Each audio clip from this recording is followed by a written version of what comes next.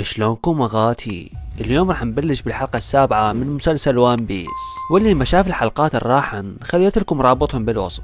وتبدي الحلقة ونشوف باغي يدليهم على مكان نامي اللي صاير بجزر كونامي. وسانجي يقول للوفي نامي بنية ملعبة وبايعة ومخلصة. الله يستر منها. زورا يقول له أنت ما تعرف نامي. فأكرمنا بسكوتك وحيرة بطبخك أحسن لك. ولوفي يقول لهم ترى روحي صايرة بخشمي. إذا تبقون تتناقرون هسه أشمركم اثنينكم من نانا ونرجع لورا كم سنة ونشوف نامي لما كانت صغيرة وهي تلعب ويا أهلها ومتونسة وضاربة الدنيا بطقاقية. والبستان متروس برتقال عبالك جايبيهم لديالة. وتلعب ويا أهلها ورق وتتذكر هذا الموقف وهي بنص هذول الحلوين وتقدر تربح الرهان بكلاواتها اللي ما تخلص. واحد منهم يضوج لأن كل ساعة فايزتهم وخلصت كل فلوسهم. وبهاللحظة واحد يجيها يقول لها أرنولد غيريدش بسرعة. فعلا تروح له وتضم المالات بالجنطة. تفوت لغرفة الخراط اللي تاركتها صار فترة وتتذكر قبل تسع سنوات بقرية كوكو اللي تابعة الجزر كونامي. وهي كانت مراقبة الخرائط كلها وتندلها شبر شبر. ولما تدخل أمها تضم الكتاب عنها. تقول لها جيبي هاي منين أخذتي؟ تقول لها خمطتها بتعبي من المكتبة، ترزلها وتقول لها أي أنا قرية، هاي هيك صايرة إيدش خفيفة، ونام تبرر لها وتقول لها قابل سويت؟ أنا ما أذيت أحد، وأمها تقول لها صح إحنا ناس فقوره وعايشين على البرتقال واللالنجي، بس الحمد لله عايشين بنعمة وسلامة، أهم شيء وحدة العائلة، تقول لها يا عائلة يا صخام بالأساس أنت مو أمي، وتهفها براجل تقعدها وزن، تبكي وتطلع برا تقعد جوا شجرة اليقطين والبلوى هم تلحقها. تقول لها إيش دعوة عيني؟ هو راجدي. لا ضاربتش دفرة كان سويتي. وتحكي لها قصتها وتقول لها أنا من جنود البحرية. بيوم من الأيام كنا متواجهين ويا القراصنة والخيم محترقة. كنت جوعانة أدور على زقنبوت ولقيتكم بالمخيم. أنت من يومك كنتي حلوة. بس هاي أختك تخوف كأنها جني. وتقشمرها وتسوي لها فرارة من قشور اللالنجي وتعوفها وتولي. أرنولد يدخل لنامي يقول لها أنت فخرنا. بيك منا عوضنا صبرهن هن. ويصير لها حسام الرسام براسها. لا كذب شباب ما قال هيك. المهم يقول لها من خلالك قدرنا نعرف مقرات القراصنة والجنود البحرية. ذيك الفترة جد اتصلت علي كان يطلع لي خارج نطاق الخدمة. تقول له اي مو الكورك ما يتصل على اثير وتقول له القوقعة مالتي غرقت وفقدت الاتصال وياك. تنطي الخارطة ويقول لها مجرد كم يوم وراح نحكم الشرق الأزرق من الطول للطول. وألا نلعب لعب. نام تقول له أنت خليت؟ عرست الدنيا كلها. يقول لها ما يجي بالعين والأغاتي نجي بالعين الحمراء. أنت إنسانة أوفى من الكلب لهالسبب راح نعطيك مكانة خاصة بالامبراطورية مالتي. ويقول لها تحضري راح ادزك مهمة جديدة. قرية كوكو وصار لهم هواي مغلسين وما دافعي لي جزية نامي تنصدم لأنه عاشت طفولته هناك. غارب وجماعته يوصلون للمطعم على موت لوفي ويطلع على زيف يقول له جاينا متأخر سجلنا غياب. غارب يقول له سمعتك التعبانة طاشة بكل مكان. زيف يقول له لا حبي أبشرك أنا تبت وعفت القرصنة.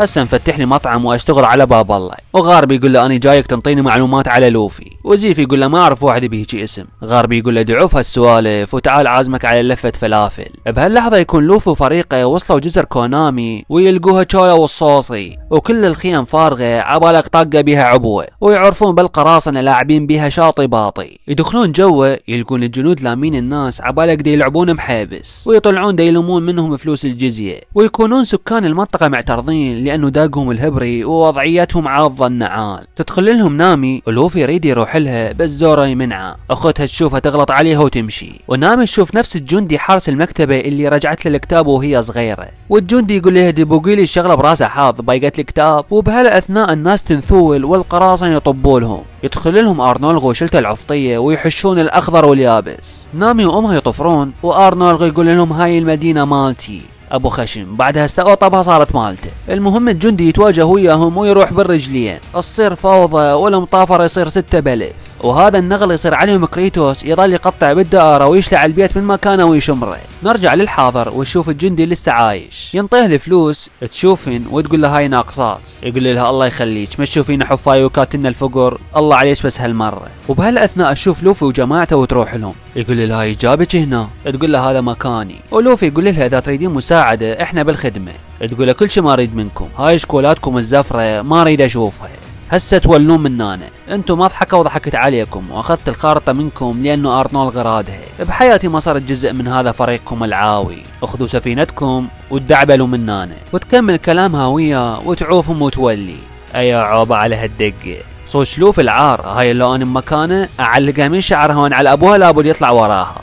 المهم زورو يقول لهم انتهى الكلام. نمشي نطلع من هنا لوفي يشوف الجندي يقول له من يا هاي أم شعر البرتقالي؟ ولوفي يقول له إحنا صيادين القراصنة سمعنا طالبين بارنولد عرض مغري وردنا نصيده. الجندي يقول لهم اجوا ناس غيركم ضعف عددكم وضعف حجمكم هم طبوا على أساس يعلسون أرنولد وهم اللي انعلسوا. أنصحكم ترجعون وتبطلون حماوة وإذا مصرين على الموضوع أكو طريق مختصر منه راح يطلعكم على مكان أرنولد. فعلا يطبون بالطريق وكان المكان كله زارعين بيه لالنجي عبالك ما أدري شكو. ويوسو بالجوع كل ساعة ماكل له وحدة. يوصلون بيت صغير وتطلع لهم أخت نامي بالسلاح. لوفي يقول لها بس على كيفك نزل سلاحك خلينا نتفاهم. أعتقد عندك مشكلة ويا نامي. ترى نامي كانت من فريقنا بس انشلبت علينا. تقول لها نامي ما عندها صاحب صديق. الشيء اللي تريده تاخذه وما تباوع وراها. لازم أنتم هم ضحكة عليكم. روحوا منا ما أقدر أساعدكم. سانجي يقول لها شنو رايك أسوي لك؟ فد اكل بحياتك ما ضايقة منه. مقابل تنطينا المعلومات اللي نريدها توافق ويدخلون جوه. يسوون حفلة وأرنولد يشغل موسيقى ويقوم يردح عليها. واحد منهم يقوم يتفل على السما بشعلات نارية.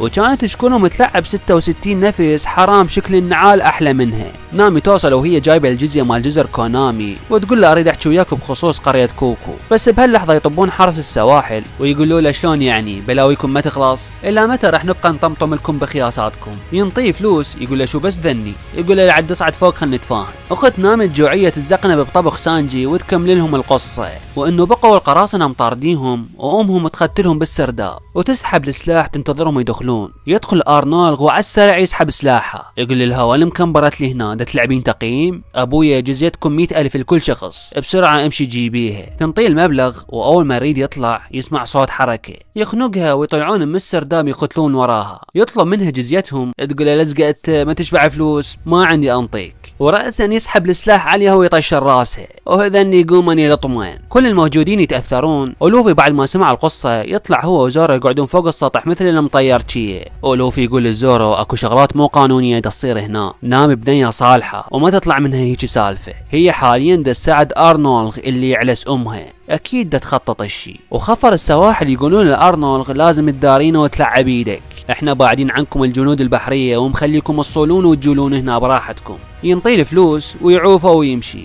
نامي تدخل ويقول لها قبل الغروب أريد الفلوس حاضرة. وزيفي يخلصها سوالف ويا غارب ويلهيه حتى يكسب وقت بين ما لوفي يأخذ الخارطة. يجي كوبي يشاوره ويقول لهم امشوا نروح الجزر كونامي. زيفي يقول له وين رايح؟ قاعدين. غارب ما يهتم له ويعوفه ويمشي.